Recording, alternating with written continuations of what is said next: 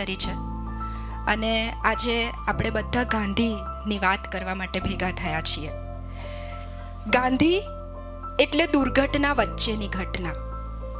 હિંસાની વચ્ચે અહિંસા. અસત્યના કાદવમાં ખીલેલું સત્યનું ફૂલ. ગાંધી એટલે રાજકારણના રણ વચ્ચે મૂલ્યોનો આખે આખો એક દ્વીપકલ્પ. ગાંધી એટલે નેતાઓ વચ્ચેનો એક એવો સંત અને ગાંધી એટલે સંતોને પણ ટાંકવો પડે એવો એક નેતા. ગાંધી એટલે પદ, પૈસો, કીર્તિ, તમામ આસક્તિઓ વચ્ચેની અનાસક્તિ. ચર્ચાપત્રી સંઘ અને સ્વજન દ્વારા હું એશા દાદાવાળા આપ સૌનું સ્વાગત કરું છું. કાર્યક્રમની શરૂઆત આવકારથી કરીએ, હું ચર્ચાપત્રી સંઘના પ્રેમ સુમેશરાજીને વિનંતી કરું છું કે આપ આવો અને સૌને શાબ્દિક આવકાર આપો. હિસાબેને કહ્યું તેમ, આજે સરદાર વલ્લભભાઈની પુણ્યતિથિ. મહાત્મા ગાંધી પર લખાયેલા પુસ્તકનું વિમોચન અને તે પણ આદરણીય ગુણવંતભાઈ શાહ સાહેબના વરદ હસ્તે. એટલે આજની આ ઘટનાને હું ત્રિવેણી સંગમ સમજું છું. ગાંધીજી સરદાર વલ્લભભાઈ પટેલ અને ગુણવંતભાઈ શાહ. સરદાર સાહેબ પર અને મહાત્મા ગાંધી પર ગુજરાતી ભાષામાં કોઈ ઓથેન્ટિક લખેલું હોય, લેખો કે એમના વિશે, તો એ છે ગુણવંતભાઈ શાહ સાહેબ. એવું કહેવાય છે કે શાહ સાહેબનું ગુજરાતી ભાષાનું જે કંઈ પણ સર્જન છે, એ સમગ્ર સર્જન અંગ્રેજી ભાષામાં જો લખાયું હોતે, તો નોબેલ પારિતોષિક પાક્કો પાક્કો ને પાક્કો હોતે. કુમારેશભાઈએ સમાચાર આપ્યા કે શાહ સાહેબે આવવાની સંમતિ આપી. એટલે આનંદ આશ્ચર્ય થયું કે આનંદ પણ થયો અને આશ્ચર્ય પણ થયું. કારણ કે શાહ સાહેબ હમણાં બહાર જવાનું ટાળે છે. અને તેઓ જ્યારે સુરતના આંગણે પધારતા હોય, તો સ્વાભાવિક રીતે આનંદ થાય. એટલે આ ઘટના, શાહ સાહેબની સુરત આવવાની ઘટનાને, એ કાર્યક્રમને એક અલગ જ ગૌરવને ગરિમા બક્ષતું હોય છે. એટલે અમે એક સંસ્થાને બે સંસ્થા ભેગા થઈ આમાં. બે સંસ્થાએ ભેગા થઈને સંયુક્ત ઉપક્રમે આ કાર્યક્રમ. ટેમ્પરરી જે હસ્તમેળાપ થયો, તેના બે ગોર મહારાજ છે. એક મુકુલભાઈ ચોકસી અને એક કુમારેશભાઈ ત્રિવેદી.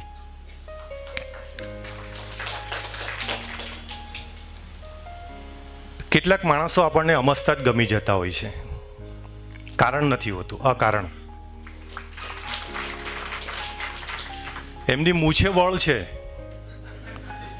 પણ મનમાં અને દિલો દિમાગમાં બિલકુલ વળ વગરના માણસ એટલે દિનેશભાઈ દેસાઈ. પાઘડીના વળ છેડે વાત કરવી હોય તો એટલી જ કહી શકાય કે દિનેશભાઈ દેસાઈ એટલે નિખાલસ, નિરાભિમાની અને મિતભાષી માણસ. નરેન્દ્ર મોદી સાહેબ સાથે આટલું કામ કર્યા પછી પણ મિતભાસી રહ્યા છે એ બહુ આશ્ચર્યજનક વાત છે. પસંદ કરે છે આપણે સુરતીઓએ એક ગૌરવ લેવા જેવી વાત છે આ. કે અમદાવાદના લેખક સુરત આવે છે.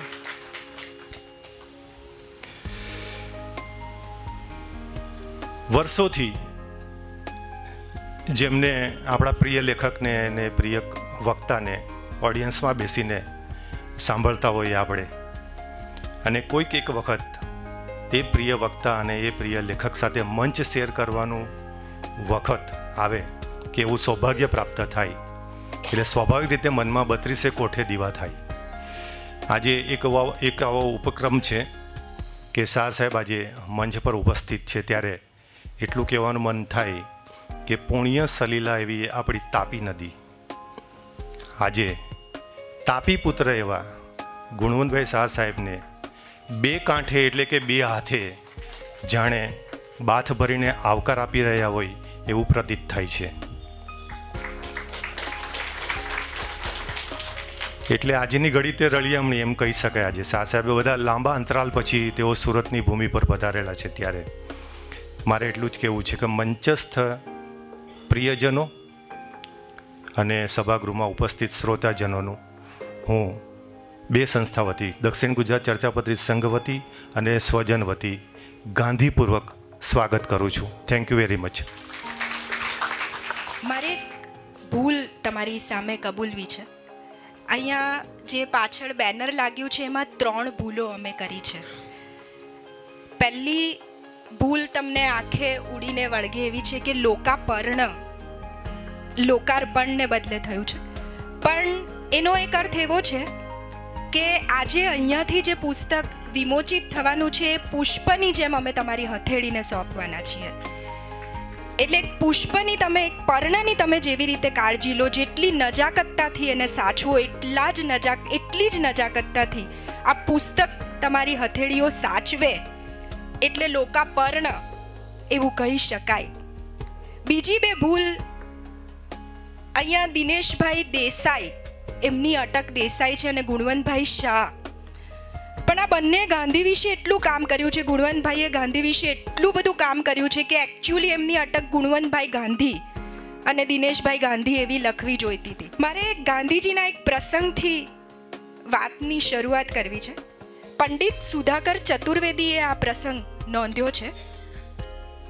પંડિત સુધાકર ચતુર્વેદી એ વખતે ગાંધી સાથે રહેતા હતા અને એમનું ડિક્ટેશનનું કામ કરતા હતા. એક વખત ગાંધીજી ટોય ટ્રેનમાં દાર્જિલિંગ જઈ રહ્યા હતા. આ ટ્રેન પર્વતોની વચ્ચેથી પસાર થાય છે એટલે સ્વાભાવિક રીતે એને ચઢાણો ચડવા પડે. આવા જ એક ચઢાણ ઉપર એક દુર્ઘટના થઈ. ટ્રેનનું એન્જિન બાકીના ડબ્બાઓથી છૂટું પડી ગયું. એટલે મુસાફરો બધા ભયભીત થયા કે એન્જિન ઊંધી દિશામાં જાય અને ડબ્બા ઊંધી દિશામાં જાય. આવા સમયમાં ગાંધીજી સુધાકર ચતુર્વેદીને ડિક્ટેશન કરાવતા રહ્યા. એટલે સુધાકર ચતુર્વેદીએ કહ્યું કે, બાપુ, આ બધા મુસાફરો ભયભીત થયા છે. ટ્રેન અત્યારે ખીણમાં ગરકી જાય તો આપણે બધા મૃત્યુ પામીએ એવા સંજોગો વચ્ચે તમે હજી પણ ડિક્ટેશન કરાવો છો. અને ત્યારે ગાંધીજીએ બહુ અદ્ભુત જવાબ આપ્યો. એમણે એવું કહ્યું, એમણે તદ્દન સ્થિરતાથી એવું કહ્યું કે, મરી જઈશું તો મરી જઈશું, પણ બચી જઈશું તો ચિંતામાં વેડફેલો આ સમય ફરી પાછો નહીં આવે. એટલે તમે ડિક્ટેશન લેવાનું ચાલુ રાખો. બાપુ બોલતા ગયા. એમનો અવાજ એકદમ સ્થિર હતો, પણ પંડિતજીના હાથ ધ્રુજતા હતા. પંડિત અને મહાત્મા વચ્ચેનો આ ફરક છે. ગાંધીજી દુર્ઘટના વચ્ચે પણ ઘટનાના માણસ છે. એ દિવસે ટ્રેન અટકી અને આખો દેશ ખીણમાં ગરકાવ થતા બચી ગયો. આવી અદ્ભુત સ્થિરતા બે જ જણમાં જોવા મળી છે. એક મહાભારતના કૃષ્ણમાં અને બીજા ભારતના મોહનદાસ ગાંધીમાં.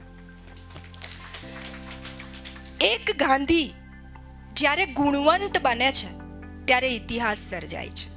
અને એક દિનેશ દેસાઈ જ્યારે ગાંધીવંત બને છે, ત્યારે Gandhiji at the rate one fifty એવું અદ્ભુત અને સરસ મજાનું પુસ્તક સર્જાય છે. ગાંધીજીને આપણે આજે પણ યાદ કરવા પડે. સદીઓ સુધી આપણે એમને યાદ કરતા રહીશું. રહીમનું નામ લેનારે પણ યાદ કરવા પડશે અને રામનું નામ લેનારે પણ એમને યાદ કરવા પડશે. ઓગણીસો સુડતાળીસ પછી આપણા દેશમાં એવા ઘણા બધા લોકો રામના નામે મર્યા છે. પણ મરતી વખતે જેના મોઢામાં રામ હોય, એવો એક પણ માણસ ગાંધી સિવાય હજી સુધી આપણને મળ્યો નથી. એટલે એવા ગાંધીજીને વંદન કરીને આજના કાર્યક્રમને આપણે આગળ વધારીએ.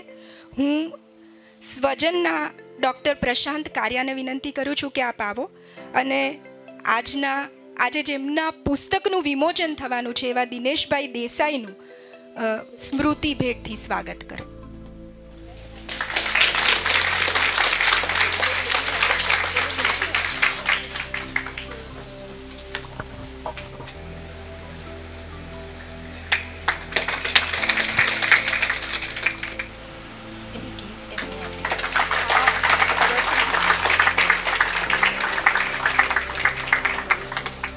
શબ્દ વાપરી શકાય કે યુથ ફ્રેન્ડલી હતા. આજે પણ ગાંધીજી એટલા જ પ્રસ્તુત છે.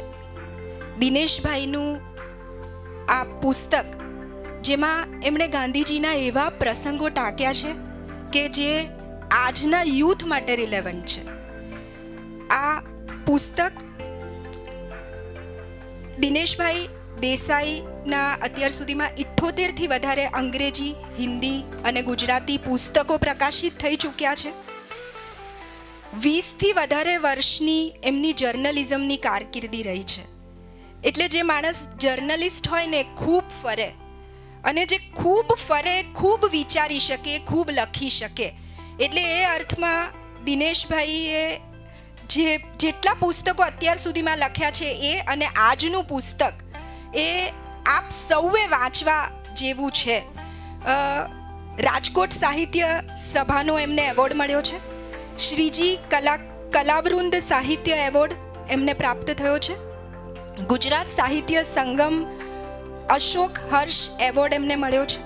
સાક્ષર ભૂમિ સાહિત્ય રત્ન એવોર્ડ, સાબર રત્ન સાહિત્ય એવોર્ડ, ગુજરાત હિન્દી સાહિત્ય અકાદમી પુરસ્કારથી એમને સન્માનિત કરવામાં આવ્યા છે. હું આદરણીય ગુણવંતભાઈ શાહને વિનંતી કરું છું કે આપ, આ પુસ્તકને અમારી હથેળીઓ વચ્ચે ખુલ્લું મૂકો, લોકાર્પિત કરો.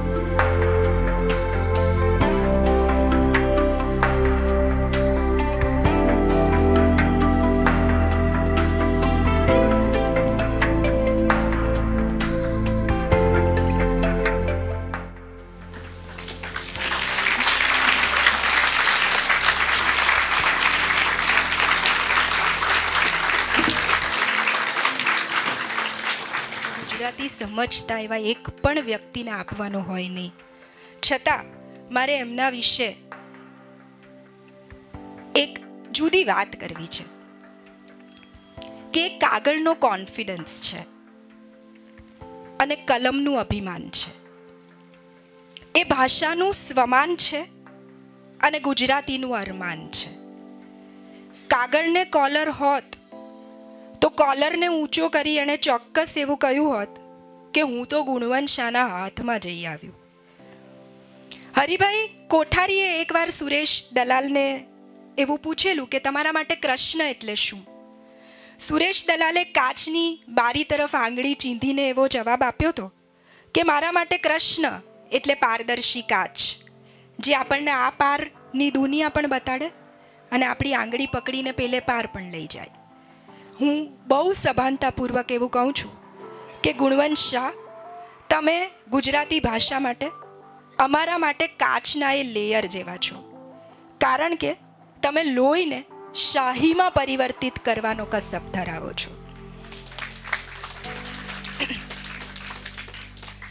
તમે સુરત વિશે લખ્યું. તમે બિલ્લો ટિલ્લો ટચ લખી. તમે પતંગિયાની અવકાશ યાત્રા લખી. તમે રામ અને કૃષ્ણ વિશે લખ્યું. તમે ભાષાને જીવાડી. તમે આશાને જીવાડી. અંગ્રેજીના મોહ વચ્ચે તમે વાંચીને સંખ્યાબંધ પુસ્તકોથી તૃપ્ત થયેલી તમારી અનુભવી આંખો પાસેથી અમારે એ બધા દ્રશ્યોને ઉછીના લેવા છે જે તમે અત્યાર સુધી કાગળ પર ઉતાર્યા છે.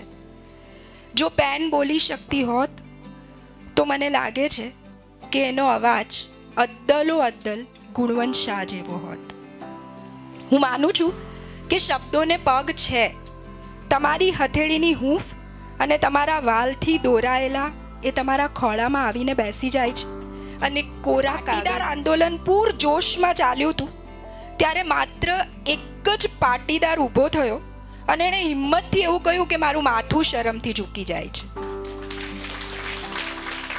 પણ છો, સદીઓ પછી ગુજરાતી ભાષાની વાત થતી હશે. ત્યારે એમના માટે ચોક્કસ એ જ કહેવાશે જે શેક્સપિયરે જુલિયર સીઝર માટે કહ્યું હતું his life was gentle and the elements so mixed in him that nature might stand up and say to all the world, That was a man, that was a man, that was a man. હું ખૂબ આદરપૂર્વક વાલપૂર્વક ભાઈને વિનંતી કરું છું કે આપ આપનું વક્તવ્ય આપો. આદરણીય અને પ્રિય ગુણવંતભાઈ શાહ.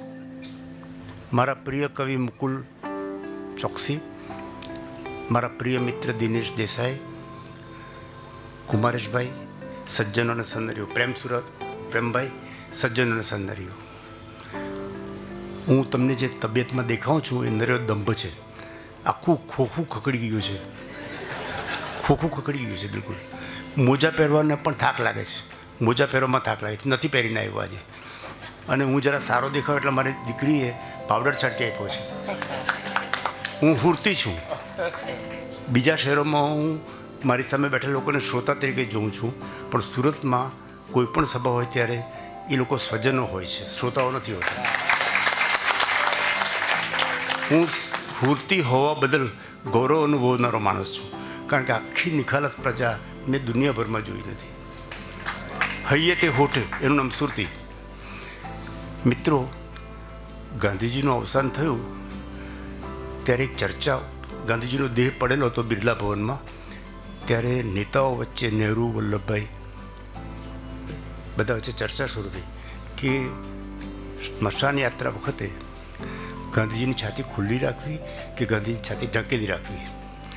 જિંદગીમાં જેણે કશું ઢાંક્યું નથી તો દેવદાસે કહ્યું, ગાંધીજીના દીકરાએ, દેવદાસે એમ કહ્યું કે બાપુ જેટલી સુંદર છાતી મેં કોઈ સૈનિકની પણ જોઈ નથી. માટે ખુલ્લી રાખવી જોઈએ. અને તમે જોશો એ ફોટો, તો ખુલ્લી છાતીના ગાંધીજી તો ખુલ્લી છાતી એ ગોળી જીરનાર માણસ, એની છાતીમાં ચાર ખાના હતા, આપણી છાતીમાં પણ ચાર ખાના છે. એક ખાનામાં સત્ય હતું, નોર્થ ઓરિકલ આ મારે મયુરાસન બની ગયું મેં મયુરાસન જોયું છે લંડનમાં મયુરાસન બિલકુલ અનકમ્ફર્ટેબલ આસન હતું અનકમ્ફર્ટેબલ આના જેવો કમ્ફર્ટ કોઈ નહીં તો ચાર ખાનામાં left auricle right auricle left ventricle right ventricle ચાર ખાના હોય છે હૃદયમાં આપણા હૃદયમાં પણ છે પણ ગાંધીના હૃદયમાં આ ચાર ખાનામાં એક ખાનામાં સત્ય હતું બીજા ખાનામાં અહિંસા હતી ત્રીજા ખાનામાં સાધન શુદ્ધિ હતી અને ચોથા ખાનામાં અભય હતો. આ ચારને કારણે ગાંધીજીની બહાદુરી એ કોઈ પણ સૈનિક કરતાં વધારે હતી. એ શાયદ દાખલો આપ્યો. તે દાખલો તદ્દન સાચો. મૃત્યુનો ભય એમને ક્યારનો ગુમાવી દીધો હતો? એ માણસ મૃત્યુ જે જે ભયવાન હોય છે તે કદી સત્યવાન નથી હોઈ શકતો. જેના મનમાં ભય હોય છે તેમાં અહિંસા પણ ટકતી નથી. મહાવીર સ્વામીએ કહ્યું છે કે અભય વગર અહિંસાનો પત્તો લાગે એમ નથી.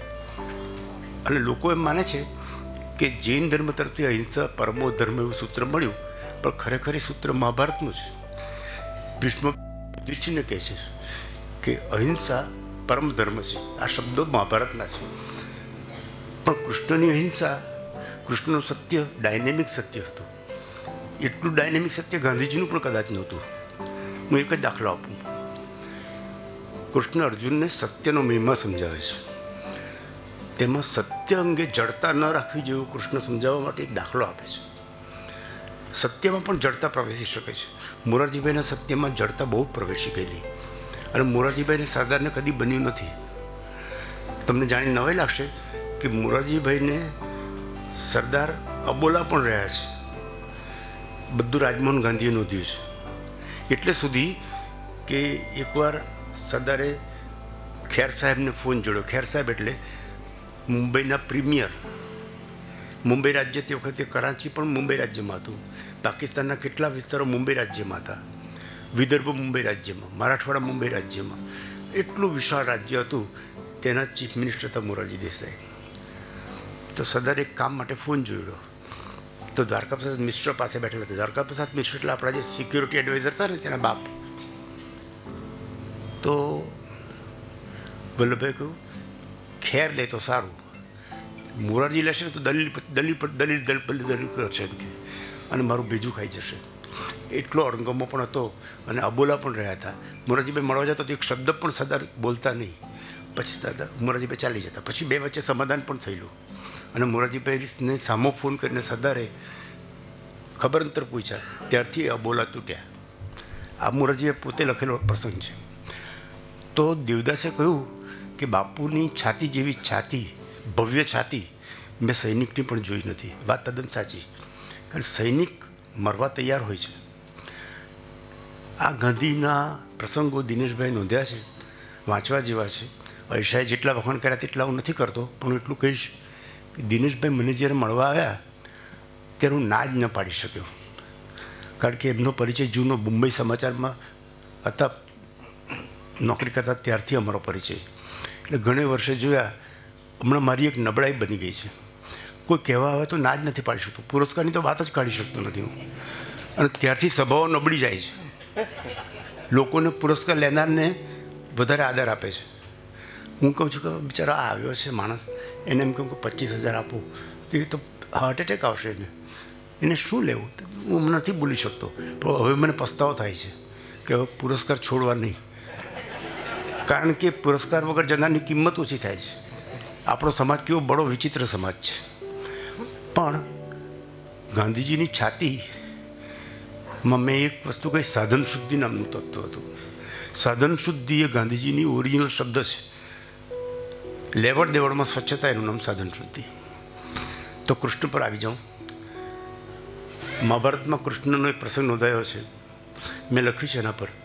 સત્ય વિશે કૃષ્ણની દૃષ્ટિ કેવી હતી? તો કૃષ્ણ કંઈ અસત્યવાદી નહોતા. પણ સત્ય સાથે પણ અભયપૂર્વક વર્તનારા માણસ હતા. જડતા નહોતી. સત્ય વહેતું હોવું જોઈએ. સ્થિ- ધીજેલું સત્ય ન હોવું જોઈએ એવું કૃષ્ણ માનતા હતા. તો કૃષ્ણ અર્જુનને સમજાવે છે કે સત્ય એટલે શું? કે જીવ જાય એવો પ્રસંગ હોય ત્યારે અસત્ય બોલી શકાય. પોતાની પત્નીથી વિખૂટા પડવાનું આવે, એવો પ્રસંગ હોય ત્યારે જૂઠું બોલી શકાય. આવું કૃષ્ણ ચોખ્ખું લખ્યું છે. ગાંધીજી તે વખતે પણ જૂઠું નહીં બોલે. હવે સત્યનો આ સેવક, એણે અર્જુનને જે એક વાર્તા કરી, એ કૌશિક નામના બ્રાહ્મણની વાર્તા કરી. કૌશિક નામનો એક બ્રાહ્મણ થઈ ગયો. તે જમાના કરતાં પણ આગળ તે સત્યવાદી તરીકે આખા પંથકમાં જાણીતો હતો. સત્ય જ બોલવું. ગમે તેટલું મરી જાવ તો સત્ય ન છોડવું. તો એકવાર એવું થયું કે લૂંટારાઓ એંસી માણસો જતા હતા, તેની પાછળ પડ્યા. એમને કાપી નાખીને પણ બધું લૂંટી લેવું હતું. તો પેલા લૂંટ, એંસી માણસો પહેલાં કૌશિક બ્રાહ્મણ પાસે આવ્યા. કૌશિક બ્રાહ્મણ હતો. વેદ્યો હતો. કૃષ્ણની દ્રષ્ટિએ વેદ્યો હતો. તો પેલા એસી માણસોએ કહ્યું એક્ઝેક્ટ સંખ્યા પણ કૃષ્ણે આપેલી છે, કે અમારે છુપાઈ જવું છે, પાછળ લૂંટારાઓ પડ્યા છે, અમને કાપી નાખશે. તો કૌશિક બ્રાહ્મણે કહ્યું, પેલી જાળી દેખાય છે ને આ દિશામાં, એ જાળીમાં જઈને છુપાઈ જાઓ. પેલા લોકો જાળીમાં પહોંચી ગયા ને છુપાઈ ગયા. બચી ગયા. એટલામાં લૂંટારા આવ્યા. લૂંટારા કે તમે થોડા માણસોને કંઈક જતા જોયા? તે કહા, હા, જયા ને? સાચું બોલો. જોયા ને? એમ? કઈ દિશામાં ગયા છે લોકો? પેલી જાળીમાં સંતાયેલા છે. સત્ય બોલ, સત્યવાદી. પેલા લૂંટારાઓ ગયા અને એસી એસીને કાપી નાખ્યા અને લૂંટી લીધા. કૃષ્ણે અર્જુનને કહ્યું કે, અર્જુન, એ કૌશિક બ્રાહ્મણની એવી અવદશા થઈ કે લાંબા સમય સુધી નરકમાં રહ્યો. સત્ય બોલવા બદલ. કૃષ્ણ જ કહી શકે. સત્ય બોલવા બદલ નરકમાં પહોંચ્યો. કારણ કે એસી લૂંટ, એસી માણસોની હત્યાનો પાપ એને લાગ્યો. આવી વખત સત્ય ન બોલાય. એ સત્ય ક્યારે ક્યારે ન બોલાય એની યાદી કૃષ્ણે આપી છે અર્જુનને. મેં મારા ભાષ્યમાં લખી છે. મિત્રો, આ તફાવત છે. ગાંધીજીએ જ્યારે પંચાવન કરોડ રૂપિયા પાકિસ્તાન આપવાની વાત કરી તેંડુલકરે આ પ્રસંગ આખો પોતાની ફિલ્મ ઉતારી છે ને, એમાં લીટી લીટી મારો ફાળો છે એમાં. એચ એમ પટેલને તમને બોલાવતા, એચ એમ પટેલ સાહેબ, હું અને તેંડુલકર ચર્ચા કરતા, મારા લેખો આપી આવતો, મારો પુસ્તકો આપી આવતો, કેતન મહેતાએ ઉતારી છે. પરેશ રાવળની ભૂમિકા છે. તો તે વખતે એચ એમ પટેલ સાહેબે મને બહુ જ ઉત્તેજન આપેલું વાત એવી થઈ કે કૃષ્ણની વાત આવે ત્યારે જે ડાયનેમિક સત્ય હોય છે, વહેતું ઝરણું, સત્યનું, થીજી ગયેલું ઝરણું નહીં. એ બાબતમાં કૃષ્ણ ગાંધીજી પણ જુદા પડે છે. પણ એ વાત જવા દઈ ગાંધીજીની જે અભયની નિષ્ઠા હતી, એક દાખલો આપું. પ્રાથમિક શાળામાં ભણતા હતા ત્યારે કોઈ શિક્ષકે કહ્યું કે આ પડોશીમાં જઈને સ્પેલિંગ સુધાર લે. સ્પેલિંગ ખોટી છે. પેલામાં જોઈને ચોરી કરીને પતાવી દે. ગાંધીજીએ નહીં કર્યું. આ પહેલો દાખલો. આ સત્યાચરણની શરૂઆત હતી બાળક ગાંધીની, મોહનની. બીજો દાખલો દક્ષિણ આફ્રિકામાં બન્યો. સત્યની ચીકણી ચીવટ બીજા કોઈ મહાત્મામાં જોવા મળતી નથી. આટલી ચીકણી ચીવટ. વિષ્ણુપ્રસાદ ત્રિવેદી આપણા સુરતના બ્રાહ્મણ શ્રેષ્ઠ. એમણે મને કહેલું મેગ્નિફાઈંગ ગ્લાસ લઈને આત્માને ટેબલ પર મૂકીને બારીકાઈથી જોતા હોય કે હજુ કોઈ ખામી રહી ગઈ છે? મારા હૃદયમાં કંઈ પાપ છે? એવું જોનારો કોઈ મહાત્માથી હતો ગાંધી. મેગ્નિફાઈંગ ગ્લાસથી ટેબલ પર મૂકેલા પોતાના મહિલાને બારીકાઈથી અવલોકન કરીને પોતાના દોષો દૂર કરવા મથનારો કોઈ મહાત્મા થયો હોય તો ગાંધી થયો છે. તો દક્ષિણ આફ્રિકામાં ડર્બન, ડર્બનમાં ગાંધીજીની પર પઠાણે હુમલો કર્યો. હુમલો કર્યો અને ગાંધીજી માંડ મરતા બચ્યા. તે વખતે પણ આગળથી ચેતવણી મળેલી કે હુમલો થવાનો છે. તો કે આપણે હુમલો થાય તો કંઈ વાંધો નહીં. અભય. મરણનો ભય જ નહીં. સ્વામી આનંદે શબ્દ વાપરે છે, મરણ ભય. તો મરણ ભય વગરના ગાંધી હતા. બિલકુલ ભય નહીં. પઠાણને માફ કીધો. પઠાણનું હૃદય પરિવર્તન થયું. એ ડર્બનમાં હું જાહેર સભા કરી આવ્યો છું. હવે આ બીજો પ્રસંગ. ત્રીજો પ્રસંગ ઓગણીસો બાવીસમાં બન્યો. મહાત્મા તરીકે લગભગ જાણીતા થઈ ગયેલા તે વખત મહાત્મા ગાંધી તરીકે જ ઓળખાતા. તો પ્રસંગ એવો બન્યો કે ચોરી ચોરામાં બાવીસ પોલીસોને બાળી મૂકવામાં આવ્યા. જનતાનો આક્રોશ વધી ગયો, પોલીસોના દમનને કારણે. તો બાવીસ પોલીસોને જીવતા સળગાવી મૂકવામાં આવ્યા. અસહકારની લડત પૂરજોશમાં ક્લાઇમેક્સ પર હતી. ગાંધીજીએ ડિક્લેર કર્યું કે મારે હિંસાથી મળતું સ્વરાજ જોઈતું નથી. આવો કોઈ અવ્યવહારુ વાણીઓ દુનિયામાં પાક્યો નથી. વાણીઓ અવ્યવહારુ હોય? કોઈ પણ દિવસ આ મોઢ વણિક અવ્યવહારુ હતા. એણે કહ્યું કે હું મારું લડતનું આંદોલન પાછું ખેંચું છું, કારણ કે મારે સ્વરાજને લોહીથી ખડેલું સ્વરાજ બનાવવું નથી. આ હિંમત કોણ કરે? અભય વલ્લભભાઈ નારાજ, નહેરુ નારાજ, ઝીણા નારાજ, કે આ ખરે વખતે આ ગરણમાંથી સાફ કર્યું એમ કહીને આપણે લોકો. આ કાં કહ્યું એને ખરે વખતે ચાલતું તું ફક્કડ પણ પોતાને શું જોઈએ છે? એના અંગે આટલી વૈચારિક સ્પષ્ટતા ગાંધીજીએ કોઈએ બતાવી દીધી ચર્ચિલ એમને અર્ધનગ્ન ફકીર કહેતો હતો. ગાંધીજીએ કહ્યું કે ચર્ચિલની વાત સાચી છે, હું અર્ધનગ્ન છું કારણ કે એ લોકો એટલા કપડાં વાપરે છે કે મારા ભાગે આટલું જ છે. બકિંગહામ પેલેસ મેં જોયો છે એ બકિંગહામ પેલેસમાં મને કોઈ કહે કે ટૂંકો પાટણ પહેરીને જાય તો હું નહીં જાઉં સ્ટેટસ શું મને એમ કહે કે ભાઈ ભૂલકા ભવનમાં સભા છે ટૂંકો પાટણ પહેરીને જાઓ તો હું નહીં આવું મને થાય કે મારા સ્ટેટસનું શું ગાંધી એ જ ડ્રેસમાં અડધી પોતળી પહેરીને બકિંગહામ પેલેસના પગથિયા ચડતો તમે જોયો છે ગાંધી પિક્ચરમાં કેટલી હિંમત હશે કેટલો અભય હશે અને રાજાને મળ્યા. રાજા એટલે સામ્રાજ્યનો રાજા, જે સામ્રાજ્યમાં કદી પણ સૂરજ આથમતો નહોતો. કૃષ્ણ મેનન કટાક્ષમાં કહેતા the sun never sets in the British empire because the God can trust the British in the dark સૂર્ય કદી આથમતો કેમ નથી? તે કે અંધારામાં અંગ્રેજોનો વિશ્વાસ કરે નહીં ભગવાન. એટલા માટે આથમતો નથી. આ કૃષ્ણ મેનનનું મોટા મોટું વાક્ય છે. પણ મને ચંદ્રદન મહેતા એમ કહ્યું કે આ કૃષ્ણ મેનનનું વાક્ય નથી, બીજા કોઈનું છે. તે બીજા કોઈનું અમે સુધી કહ્યું છે અને મારી ચોપડીમાં લખ્યું છે કે આ વાક્ય કૃષ્ણ મેનનનું નથી, મૂળ કોઈ બીજા જ અંગ્રેજનું છે. અંગ્રેજે લખેલું છે the sun never sets in the British empire because the God can not trust the British in the dark હવે ગાંધીજી ક્યારેક નહેરુ પ્રત્યે નબળાઈ બતાવી ગયા. બે પ્રસંગો છે, હું બારડોલીમાં કહેવાનો છું, પણ અહીંયા પેપર ફોડી દઉં છું. ઓગણીસો ઓગણત્રીસમાં લાહોરનું કોંગ્રેસનું અધિવેશન મળેલું. મળવાનું હતું તે પહેલાં ઓગણીસો અઠ્ઠાવીસમાં બારડોલી સત્યાગ્રહ થયેલો, એટલે સરદાર તરીકે આખા દેશમાં છવાઈ ગયેલા Sardar. He became hero like Amitabh Bachchan તો એ સરદારનું નામ બધા કોંગ્રેસીઓ જંગતા હતા. બધા જ કોંગ્રેસીઓ કે સરદાર પ્રમુખ બને, સરદાર પ્રમુખ બને. સુભાષ બોઝે કહ્યું કે કોંગ્રેસીઓની જંગના સરદાર બનેવી છે. એ વસ્તુ રાજમોહન ગાંધીએ નોંધી છે પુસ્તકમાં. પણ મોતીલાલ નહેરુ તે વખતે કોંગ્રેસ પ્રમુખ હતા. અને પરિવારની નબળાઈ આજે પણ ચાલુ છે. કે મોતીલાલ શહેરુ, મોતીલાલ નહેરુ ગયા, ગાંધીજીની માથેથી પગડી ઉતારવાનું જ બાકી. મોરારજીભાઈ તો આ શબ્દો મારી આગળ વાપરા છે કે માથેથી પગડી ઉતારીને મૂકી મારા દીકરાને પ્રમુખ બનાવો. છેક આવું નહોતું, પણ એવું થયું કે આડકતરા કાગળો લખ્યા એમણે કે જો વલ્લભભાઈ જ યોગ્ય છે, પણ જો બીજો કોઈકનો વિચાર કરવો હોય તો જવારદું થઈ શકે. આ પંડિત મોતીલાલનો પત્ર છે ગાંધીજી પર. મેં વાંચ્યો છે. તો ત્યારથી કોંગ્રેસ પ્રમુખ પદ ચાલ્યું જ આવ્યા છે. સોનિયા ગાંધી ઓગણીસ વર્ષ સુધી પ્રમુખ રહ્યા. પછી નિમ્યો કોને કે રાહુલને. રાહુલ જાય તે પાછા સોનિયા ગાંધી. હવે પણ કોઈ જશે તો પ્રિયંકા બેઠી જ છે. આવું બહુ પહેલેથી ચાલ્યું. તો સરદારનું નામ પાક્કું હતું. પણ ગાંધીજીએ એક ઈશારો કર્યો કે, સરદાર જવાહરને બનવા દઈએ અરે હા બાપુ, તમે જે તમે જે કહો તે ખરું. અઠ્ઠાવીસમાં સરદારનું એટલું તો નામ થઈ ગયેલું દેશમાં કે બીજા કોઈ નામનો વિચાર જ નહીં આવે. હવે લાહોરની કોંગ્રેસ કેટલી અગત્યની તેની તમને વાત કરું.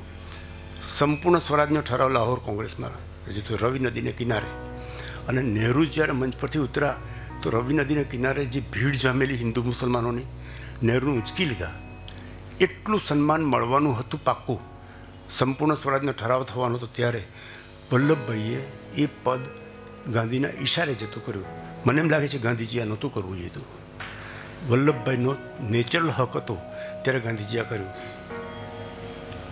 નહેરુ પ્રત્યેની એક પક્ષપાતી નબળાઈ તેનું આ પરિણામ છે. તો સરદારે જતું કર્યું. ગાંધીજીનો ઈશારો માત્ર. તો બીજો બીજો સવાલ નથી પૂછ્યો કે બાપુ આમ કેમ ને તેમ કેમ? તમે બાજીપરાના સરપંચે જઈને કહ્યા કે આ વખતે સરપંચ છગનભાઈ તમે છો, પણ મગનભાઈને બનવા દો. છગનભાઈ ના પાડે? હા, પાડે કોઈ દડો? સરપંચ પદ જતું કરવા તૈયાર નથી. તાલુકા સરપંચ બનવાનું હોય તો પેલી કે મારો જ. કોઈ પણ કોઈ પણ પક્ષની કારોબારીની સભા જોજો તમે. કોઈ છોડવા માગતું નથી. એવા વખતે તમને ખબર છે તે વખતે કોંગ્રેસના પ્રમુખને રાષ્ટ્રપતિ કહેવામાં આવતા. કોંગ્રેસ પ્રમુખ સુભાષબાબુ હરિપરા કોંગ્રેસના પ્રમુખ, રાષ્ટ્રપતિ સુભાષબાબુ એ સન્માન તે વખતે કોંગ્રેસના પ્રમુખનું સન્માન હતું. That was the stature and status of Congress president. તે વલ્લભભાઈએ બાપુના કહેવાથી જતું કર્યું. બીજો બનાવ બન્યો ઓગણીસો છેતાલીસમાં. ઓગણીસો છેતાલીસમાં કોંગ્રેસ કારોબારીની મિટિંગ એ મિટિંગમાં જે પ્રમુખ તરીકે નિમાય તે દેશનો નેચરલી જ વડાપ્રધાન બને. તે જ જમાનામાં કોંગ્રેસ એટલે જ લોક લોક એટલે જ કોંગ્રેસ. એવી સ્થિતિ હતી. Congress is equal to people people is equal to તે જમાનામાં પાછું ઊભું થયું. પંદર કોંગ્રેસ સમિતિઓએ નહેરુનું નામ, અરે, સરદારનું નામ સજેસ્ટ કર્યું. નહેરુનું નામ એક પણ સમિતિએ રજૂ નહીં કર્યું. એક પણ સમિતિએ નહીં. કારોબારી ચાલતી હતી અને ગાંધીજીએ એક ચિઠ્ઠી લખી કૃપલાણીને આપી, સરદાર, તમે ખે, તમારું ઉમેદવારી પત્રક ખેંચી ઉમેદવારી પત્રક હતું જ નહીં. બધું સજેશન્સ પંદર કોંગ્રેસ સમિતિઓનું હતું. અને કોંગ્રેસ સમિતિનું રજૂઆત એટલે? અને જે માણસ તે દિવસે નિમાય, એ બે મિનિટનો સવાલ હતો. જો તે દિવસે ગાંધી વચ્ચે ન પડે, તો સરદાર જ પહેલાં વડાપ્રધાન થઈ શક્યા હોત. સરદારને ચિઠ્ઠી ગઈ કૃપલાણી આપ્યા ગયા. કૃપલાણીએ કહ્યું કે સરદાર બાપુ ઈચ્છે છે કે ખેંચી લો. બાપુ સરદાર બે મિનિટમાં એક મિનિટનો વિચાર કર્યા વગર સહી કર્યા વગર આ ત્યાગનું કોઈ મહત્વ? આ ત્યાગ, અને એ ત્યાગીને દેશના વડાપ્રધાન બનાવવાને બદલે નહેરુને વડાપ્રધાન બનાવ્યા, અને ત્યાર પછી ભૂલોની પરંપરા ચાલી છે. એચ એમ પટેલના શબ્દો કહું છું. એચ એમ પટેલે મને એમ કહ્યું છે, બુદ્ધ અંગે ભાષણ કરવા મને બોલાવેલો પટેલ સાહેબે. સાંજે ચા પાણીને ભજીયાનો પ્રોગ્રામ ગોઠવ્યો. હું અને દિલાવરસિંહ જાડેજા સરદાર પટેલ યુનિવર્સિટીના વાઇસ ચાન્સેલર. અમે બંને ગયા. હિંચકા પર એચ એમ પટેલ બેઠા અને અમે બે ખુરશી નાખીને નીચા આસન પર બેઠા. એચ એમ પટેલે એક વાત કહી.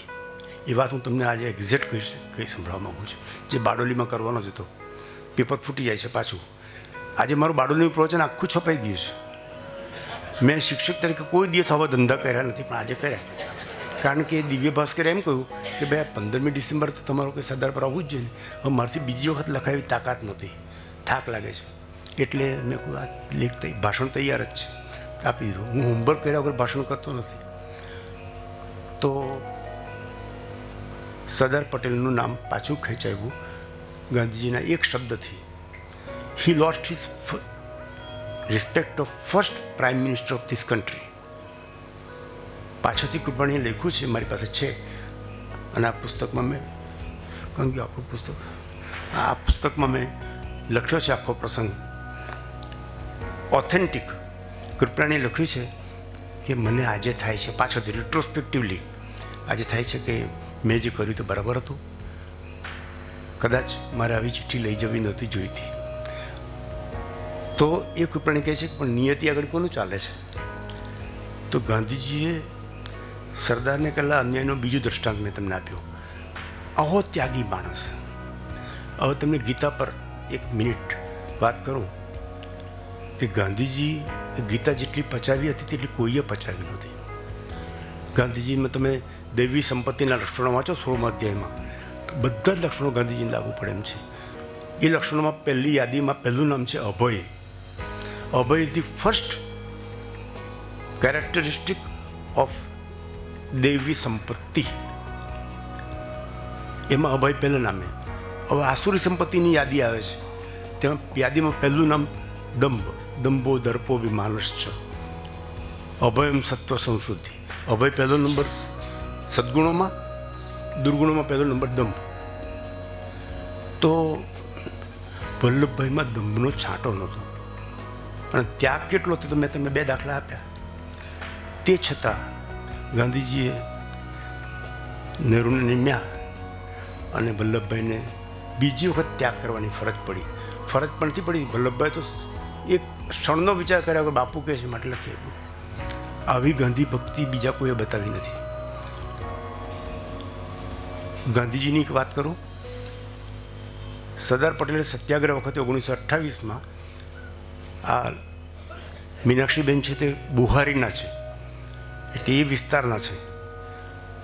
તે વખતે સરદારે સત્યાગ્રહના દિવસોમાં એક હુકમ કર્યો કે મારા સિવાય કોઈ ભાષણ કરવાનું નથી. બફાટ કરે ને કંઈ? અંગ્રેજોને લાભ મળી જાય. એટલે સરદારે હુકમ કર્યો કે મારા સિવાય કોઈ લવલો કરવી નહીં. આ સરદારની પ્રકૃતિ હતી. લવલો કરવું નહીં. નુકસાન થાય. તો રાયમ ગામ છે. રાયમ અને સરભાણ બે ગામના લોકો ગાંધીજી પાસે ગયા. બાપુ અમારે ગામે પધારો. બાપુ કે સરદાર હુકમ કરતો હું એટલે પેલા સરદાર પાસે ગયા કે બાપુ તમે હુકમ કરો સરદાર સાહેબ તમે હુકમ કરો તો જ આવે એમ છે બાપુ તો સરદારે કહ્યું આવવા દો એટલે સરદારનો હુકમ થયો તેથી બાપુ ગયા રાયમ રાયમમાં રેંટીઓ કાંતવાનું પ્રદર્શન ગોઠવાયું સ્ત્રીઓ બધી રેંટીઓ કાંતવા બેઠી રાયમ ગામની વાત કરું છું તો ગાંધીજી બહુ ખુશ થઈ ગયા પ્રસન્ન થઈ ગયા રેંટિયા કાંતા હતા જોયા તો મારથી આ વાત સરદારને કહેવાઈ જાય છે કારણ કે રહેવાતું નથી આજે પુણ્યતિથિ એમની છે હું આજે સરદાર મય છું મારી ફેસબુક પર આજે મારો સંદેશો છપાયો છે સંદેશો પછી વાત કરું તમને ભૂલી જાઉં તો કહેજો મારથી ભૂલી જવાય છે એક વાત પછી બીજી વાત પર જવાબ બીજી અડધી વાત રહી જાય છે એ તમારે સ્વીકારી લેવું પડવાનું કારણ કે ઉંમર થઈ છે મિત્રો ગાંધીજીને કહ્યું ગામ લોકોએ બાપુ બે શબ્દો કહો નહીં તે કે સરદાર હુકમ કરતો કહું તે કે લાંબુ ભાષણ નહીં કરતા, પણ કંઈક તો કહો. તો ગાંધીજી એક વાક્ય બોલ્યા, હુકમ વગર, કે તમે લોકોનું રેંટિયાનું જે પ્રદર્શન થયું ને, કાંતા રેંટિયા જે, મને બહુ આનંદ થયો. પછી બોલ, બેસી ગયા તરત. સરદારનો હુકમ વગર હું કહેવાનો નથી, બોલવાનો સરદારનો હુકમ પાળવાનો. આ સરદારનો મિજાજ હતો, સાહેબ. અને બાળુ સત્યાગ્રહ સફળ થયો.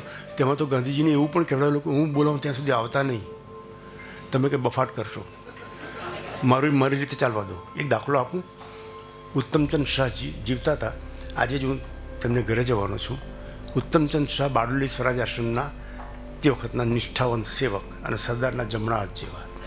ઉત્તમચંદ શાહ એક પ્રસંગ મને કહ્યો હતો. મારી પદયાત્રા ચાલતી હતી રવિશંકર મહારાજ સાથે. અકોટી નામનું ગામ, અકોટી કે બામણી, બેમાંથી એક ભૂલ થાય છે મારી. એ ગામમાં રવિશંકર મહારાજ વચલી પરસરમાં હતા હું ને ઉત્તમચંદભાઈ આગલી પરસરમાં હતા તો ઉત્તમચંદભાઈ સરદારની વાતે ચડી ગયા. એટલું ઉલટથી બોલ્યા કે હું બાર વાગ્યા સુધી મેં વાતો કરી. બાકી સરોદયના તે દિવસોમાં બાર વાગે શું એટલે ગુનો, ઉજાગરો કહેવાય. પણ ઉત્તમચંદભાઈને એટલો ઉમળકો હતો ને મને પણ સાંભળવાની મજા આવી ગઈ. એમણે એક પ્રસંગ કહ્યો. કોઈ સર્કલ કોઈ ગામે જવાનો હતો. એવી ખબર પડી એટલે સરદારે ઉત્તમચંદભાઈ ઉત્તમચંદભાઈ, ઉત્તમચંદ, કોઈ બી હિસાબે હાથે કાંતેલા સૂતરની સાડીની ઠોકડી એ ગામે પહોંચાડી દો ઉત્તમચંદભાઈ તો હુકમ માનવાનો, સરદારનો હુકમ નહીં માનવું એ બને જ નહીં કોઈ દિવસ. અને શબ્દશક્તિ પણ એટલી હતી સરદારની. તો આગલે દિવસે ખાદીની સાડીઓની, સાડી એટલે કેવી સાડી? સાંધાવાળી સાડી. જાડી ખાદીની સાડી મેં જોઈ લઈએ. એક બોર્ડર હોય તો એની બાકી કંઈ નહીં. એટલા માટે કે સર્કલ અંગ્રેજ સરકારની રિપોર્ટ આપે કે અહીંયા તો બધું સરદારનું ચાલે છે. સત્યાગ્રહનું વાતાવરણ છે આખા ગામમાં. આટલી જોરાવર પ્રજા છે. બધી જ પટલાણીઓ ખાદીની સાડીમાં ગામમાં ફરતી જોઈ એટલે સરકારે રિપોર્ટ આપ્યો. એ બધું ખાદીનું જ વાતાવરણ છે તો સરદારની હુકમ ચાલે છે. પછી પાણી જોઈએ છે મારે.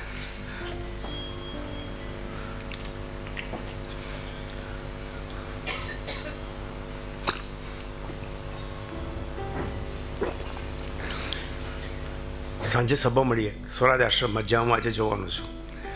કાર્યકર્તાઓમાંથી ઉત્તમચંદભાઈએ ઊભા થઈને પૂછ્યું કે સરદાર સાહેબ, એક પ્રશ્ન છે. આપણે જે યુક્તિ કરી છાપ પાડવા માટે, આ સાડીઓની થપ્પી લઈને પટલાણીઓ ખાદીની સાડીમાં ફરે, ફરતી જુએ તો પેલો સર્કલ ઇમ્પ્રેસ થાય. તો કે સરદાર જવાબ આપ્યો, આમ કે બાપુ ચલાવી દે ખરા આવું, બાપુને માન્ય ખરું આવું? એટલે સરદારે જવાબ આપ્યો સાંભળવા જેવો છે. બાપુજીની અહિંસાને આપણે પહોંચી શકીએ એમ નથી. આપણને જેટલી પચે એટલી હિંસા પાડવી. આ સરદાર, આ કૃષ્ણ માર્ગી સરદાર. અહીંયા કૃષ્ણ જીવતા થયા. ચાણક્ય જીવતો થયો. અને ગાંધીજી જીવતા પડ્યા. મિત્રો, મેં કઈ વાત કહી કે મને યાદ દેવડાવજો? હા ફેસબુક પર આજનો મારો મેસેજ છે. મિત્રો, હા, એચ એમ પટેલની પણ વાત કરું કરું. મને યાદ આવી ગઈ. એચ એમ પટેલ સાહેબે એમ કહ્યું અમે જ્યારે દિલાવરથી જાડેજાસ્તે ગયા ત્યારે આટલી મદદની જરૂર છે મારે, હા, હવે. સાથે બુદ્ધિ નાઠી નથી એંસી, ત્યાસી વર્ષ થયા. ત્યાસી સુધી ખેંચી કાઢ્યું મેં એટલે આવી ભૂલ થવાની. તો એચ એમ પટેલે અમને એવું કહ્યું કે સ્વરાજ મળ્યા પછી લગભગ બધા નિર્ણયો ગુરુખાતો જ લેતું, સરદાર જ લેતા. નહેરુનો પૂછ્યા વગર પણ લે. તો જ હૈદરાબાદ મળ્યું આપણને. હૈદરાબાદનો આખો ઇતિહાસ મેં લખ્યો છે, વાંચ્યો છે. મારી ચોપડીમાં છે. સરદાર ન હોય તો હૈદરાબાદ અત્યારે પાકિસ્તાનમાં હોત. નિઝામ થનગની રહેલો હતો ઝીણા સાથે પત્ર વ્યવહાર ચાલે. લાયક અલી નામનો માણસ હતો ઝીણાનો તે નિઝામ સાથે સતત સંપર્કમાં. અને કોરો ચેક આપેલો, પાકિસ્તાન સાથે જોડાજો, તમે જે માગણી કરતો માન્ય. પણ કે મુનશી, જેને મેં મારું પુસ્તક અર્પણ કર્યું છે, કે મુનશીને, એને જે મુસ્તદીગીરી બતાવી છે, તો હૈદરાબાદ તો હૈદરાબાદ જવા માટે તમારે વિઝા લેવો પડતો અત્યારે. હૈદરાબાદ જવા માટે વિઝા લેવો પડતે. અને જુનાગઢ જવા માટે પણ વિઝા લેવો પડતે. આ સરદારનું પ્રદાન હતું. મિત્રો આ સરદારને ભૂલી જવા માટે એ ઇતિહાસમાંથી ભૂસાઈ જાય એવા પ્રયત્નો થયા. બીજી કઈ વાત હતી? પેલો મેસેજ ફેસબુક પર મેસેજ તમારો આજે. જે ફેસબુક પર મેસેજ હા ફેસબુક પરનો મારો મેસેજ મેં કામિલ બુલકે નામનો એક બેલ્જિયમનો બિશપ હિન્દુસ્તાન આવ્યો. અને રામના પ્રેમમાં પડ્યો. રામાયણના પ્રેમમાં પડ્યો. અને વર્ષો સુધી રામાયણના અભ્યાસ કર્યા પછી એ રામકથા નામનું પુસ્તક પ્રગટ કર્યું. આ મેં ફેસબુક પર લખી, લખાવ્યું છે આજે. તો એનું નામ કામિલ બુલકે. કામિલ બુલકે હિન્દુસ્તાનનો બની ગયો. બિશપ તરીકે, ખ્રિસ્તી બિશપ તરીકે હિન્દુસ્તાનમાં આવેલો. કન્વર્ઝન માટે જ આવ્યો હશે. અલ્હાબાદ હિન્દી યુનિવર્સિટીના ડિપાર્ટમેન્ટ ઓફ હિન્દીનો હેડ ઓફ ધી ડિપાર્ટમેન્ટ બન્યો. અને હિન્દી પ્રત્યે એટલો પ્રેમ, પણ રામાયણ પ્રત્યે એટલો પ્રેમ કે એણે દુનિયાના બધા દેશોમાં જઈને રામાયણનો અભ્યાસ કર્યો અને રામાયણ પર એક અદ્ભુત ગ્રંથ લખ્યો. જે ગ્રંથ વાંચીને મને પણ મદદ મળી મારા રામાયણના પુસ્તકમાં, રામકથા. એ જ્યારે મરવા પડ્યો, પાંચેક વર્ષ પર, દસ વર્ષ પર, એ વિદ્યાનગર પણ આવી ગયા છે, કામિલ બુલકે. અદ્ભુત માણસ. રામકથા પુસ્તકથી અમર થઈ ગયો એ માણસ. મોરારી બાપુ પછી કોઈ રામાયણની વધારેમાં વધારે સેવા કરી તો કામિલ બુલકે એ કરે છે. ખ્રિસ્તી પાદરી. તો એ કામિલ બુલકેને મેં ટીવી પર પ્રોગ્રામ જોયો તો કામિલ બુલકે જોયા. મેં તો ટીવી પર નમસ્તે કર્યા. એટલો અદ્ભુત માણસ રામાયણ પર આવું કામ કર્યું. એને પૂછ્યું કે મૃત્યુ પછી જો કોઈ